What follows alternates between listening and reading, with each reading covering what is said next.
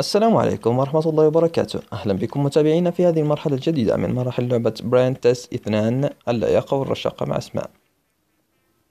إذا لم تكن بعد من المشتركين فرجاء اشترك في القناة. يجب أن تتخلص من الطعام غير الصحي في المطبخ. حسنا لنقوم بالتخلص من هذا الطعام. نقوم بفتح الثلاجة وأخذ هذه الحلوى. هذا المشروب الغازي المثلجات.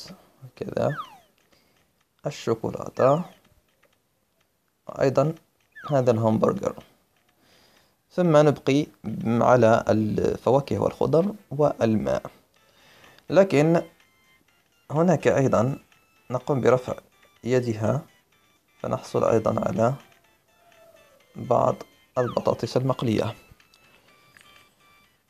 نلتقي في مرحلة مقبلة إن شاء الله. والسلام عليكم ورحمة الله وبركاته.